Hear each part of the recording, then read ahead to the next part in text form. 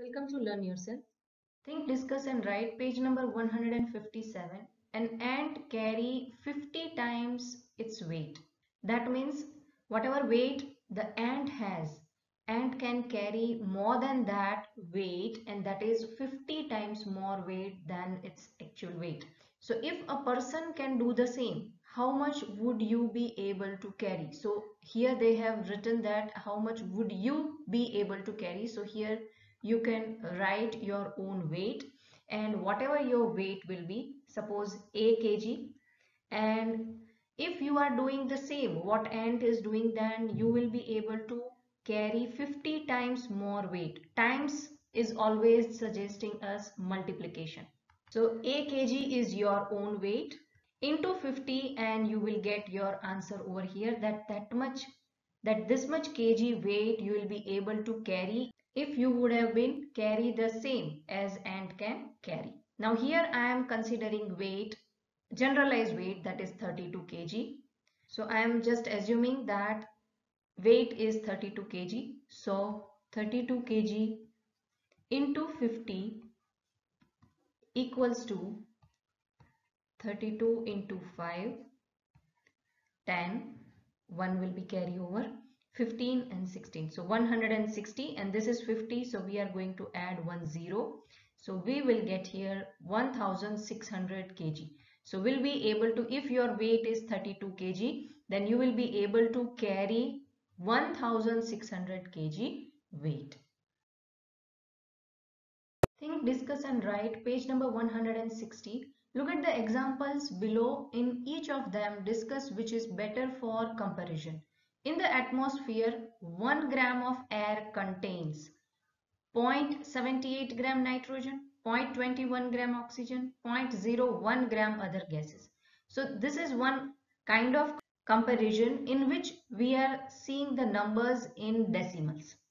Other comparison in which we are seeing the numbers in percentage. So here the quantities are clear that 78% is nitrogen, 21% is oxygen and 1% other gas is there.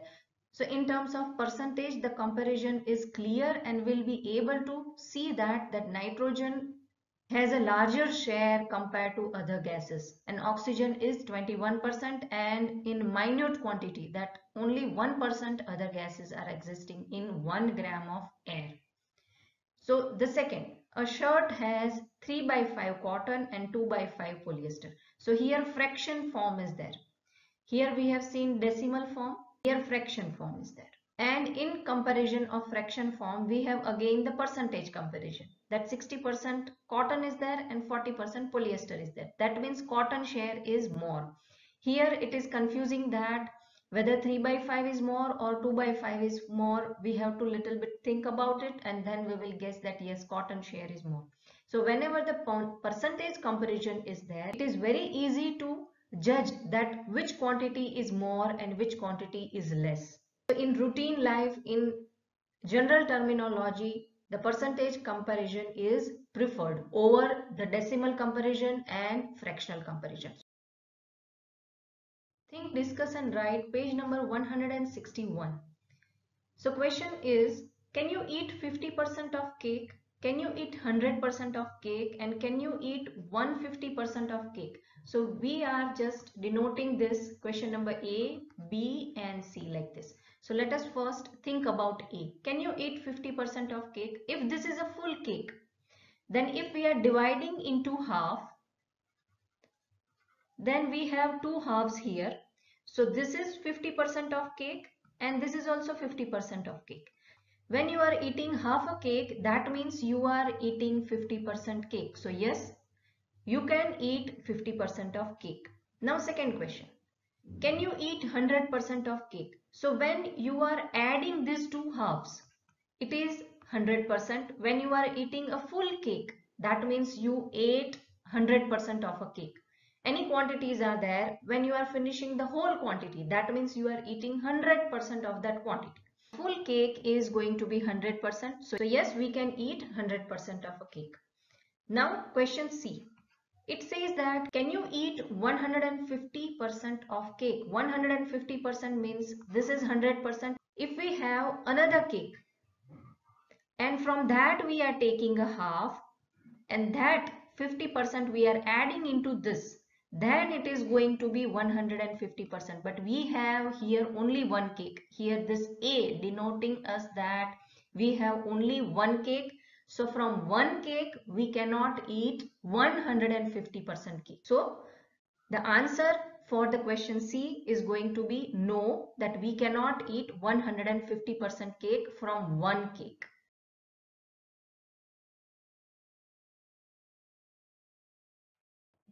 Our second question, so here also we are denoting question A, question B and question C. Can a price of an item go up by 50%? Now let us assume that price of one pen is rupees 2. I am taking very very small quantity so that's so it will be easy for comparison. Now let us try to understand what will be the 50% hike for this price. So if 2 rupees is 100% then what will be the 50%? So here we will get 2 into 50 divided by 100. So 50 to the 100 and 2 2 will get cancelled out. We will get here 1 rupees. So when price will hike by 1 rupee that means it is 50% hike. So when will price be 3 rupees then it is 50% hike. So yes. So for question A price can be 3 rupees then yes item's price can go up by 50%. Now let us see for question number 2. Then a price of item go up by 100% if the price of pen is 2 rupees and again 2 rupees has been increased. 2 plus 2 equals to rupees 4. So price can go up to 4 rupees. So price of an item go up by 100 rupees. So question B is also yes. Now let us see for the C question that can price of an item go up by 150%.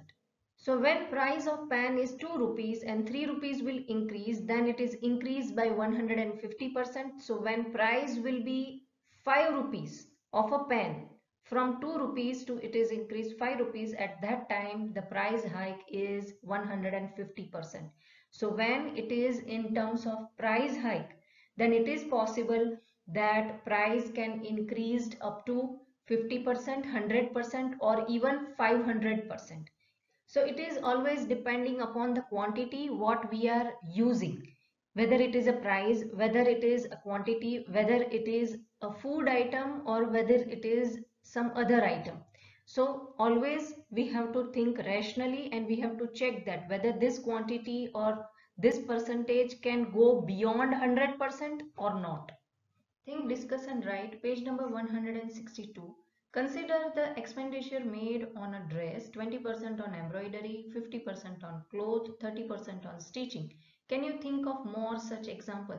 So here basically we have to show a comparison in percentage that whether it is an expenditure or whether it is a material made up of or any some other comparison. So here I have noted down three types of example. You can also write here birthday party celebration expenditure or any material made up of or your paintings. Color will vary that 20% you have used blue 30% you have used yellow. Any kind of comparison you can write but that comparison has to be in percentage. So tablecloth is made up of 20% of polyester and 80% of cotton our blood is made up of 55% of plasma and 45% of blood cells and our 2B pencils lead is made up of 74% carbon, 20% clay and 5% wax. So these are the percentage comparison. You can write your own examples. So thank you for watching and learning with us. If you have any doubt, please comment down below. I'll see you in next video. Till then, keep learning, keep sharing. And don't forget to subscribe Learn Yourself.